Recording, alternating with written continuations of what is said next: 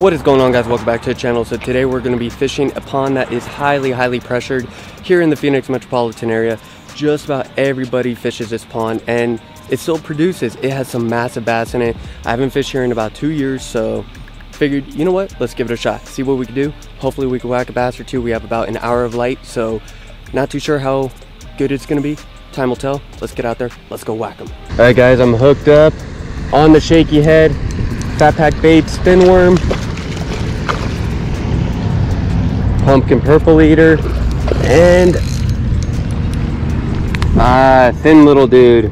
So you got the purple pumpkin eater thin worm by Phat Pak Baits, and you got the 1 8 ounce little jig head, shaky head by Copper State. Man, that took forever. Not a bad little bass. So I mean, he came up out of nowhere and absolutely whacked it. Unfortunately, it was off camera, but hey, a fish is a fish. The thing, those hooks are super sharp by Copper State. Whatever hook that they use to attach to their lead head, that thing penetrates with ease. I mean, it goes right through the bass's mouth because I didn't even have a chance to really set the hook on that fish. That fish just grabbed it and took off. So for, fortunate enough for me, that hook is extremely sharp.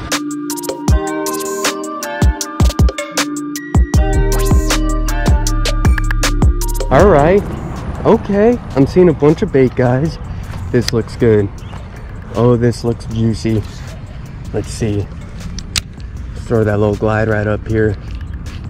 See if we could draw a behemoth of a largemouth out of one of these pipes. I'm seeing bait everywhere, my goodness. Try to get it run by super close. A lot of the bass, they just barely hang out of the pipe sometimes, and they'll come darting out and just grab any sort of bait fish, whether it's bluegill, tilapia, etc. They dart out and absolutely crush them. So I like to let the bait run pretty close to the pipes. It looks like there's some water spitting out too, so adding a little bit of current, always a good sign. Always a good little deal breaker to try to catch some largies. It's currently six o'clock, got about an hour of light left. Perfect time to throw this little glide around and try to get a big bite. And there's some big bass in this pond, guys. I mean, there's like six, seven, eight pounders in here, so I'm holding on to the rod for dear life. I've not fished in a single one of these ponds in about like two years, so I know they're highly pressured. I mean, there are fish literally daily, but there's still typically a few fish willing to bite. Just gotta try to trick them. Oh man. Oh man. There's been times where all I've done is this, right in front of a pipe, and the bass come darting out and grab it trying to slow down the retrieval a little bit just in case there is a fish out there following it they might actually hit it. It's just so hard for me to slow down my retrieval because i fish typically super quickly. I fish fast. That slow fishing technique i'm just not good at because i'm super impatient. All right guys so we tied on a wacky rig drop shot setup we got the phantom purple fat bat on by Phat Pak baits let's see if that scrumptious purple color can uh, drawing a bass because typically purple, morning dawn, uh, June bug, any any color like that, typically will catch a fish or two. A bass right here. I'm literally watching him. I'm literally staring at him, guys. There's literally a bass right here. Watch. Let's see. Oh my gosh.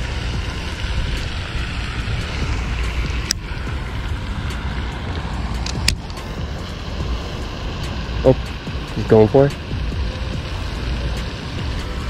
I think we're gonna run across the street and fish around those pipes with this drop shot. I think we're gonna be able to pick up a bass. I really do.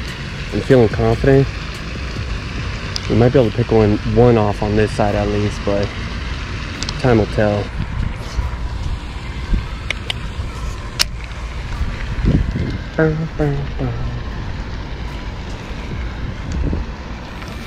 There's one. It's a big one. It's a big one. That was a good freaking hit too. I mean, he knocked it. Staying down. Well, not a big one, but just a chunk. A chunky chunk on that drop shot. That Phantom Purple by Phat Pak Baits. Very, very, very aggressive fish right there. Little hook, little owner hook. Never go wrong with that. Beautiful little bass right there. Thank you for the bite. Let's get them on in. Get big, buddy. Tell you what, if you're struggling, you can't catch fish, buy yourself a pack of Phat Paks and you'll catch fish real quick. These things are juice. That little sauce, the little saucy sauce that he puts on there, it's too scrumptious for these bass to not come up and hit. Not too bad. Let's see how many we could catch. Maybe we'll luck out. Maybe we'll get on a nice little evening bite. And that was immediate. Second it hit the bottom, that fish just probably turned around, darted right at it. Super aggressive hit too. So I saw the one bass cruising shallow. We hooked up with that one relatively shallow. He was probably about 10 feet off the bank. So the fish, they must be just kind of cruising along right now. You know, maybe chasing some bait, just kind of hanging out. They're not doing a whole lot though. Cause I'm not seeing any sort of boils. Everything's pretty mellow. All right, let's try back here. Let's give this a shot. Give it a quick little dangle. See if we can pull some magic. Be cool to get at least two more. We get two. Oh, there we are. Nice hit. Chunky bass, chunky bass. Oh my goodness. Gosh, oh, look at that. Look at that fish dig. Oh my gosh. Get up, buddy. Ah, another fish that doesn't have a lip. What a bummer. Cool little fish right there, though. All in all, I mean, shoot, at least he's still eating. Sucks that half his face is ripped off, though. Man, just as I said, oh, I want to do one more, I want to get one more, maybe two more, you know, we, we hook up immediately. I know there's a secondary drop-off out there, and we lucked out because I think that's what that fish was sitting on. One thing I like about fishing drop shot on a medium action bait caster, I mean, you can swing on those fish to make sure that you actually get them pinned. I'll tell you what though, the fish in these ponds, I mean, they freaking dig. They're some powerful, powerful fish for the size that they are. I mean, you'll catch these size of fish in canals and other ponds and, you know, you get them in relatively easy. Maybe one fights a little harder than the other, but every single one of these fish, they just pull.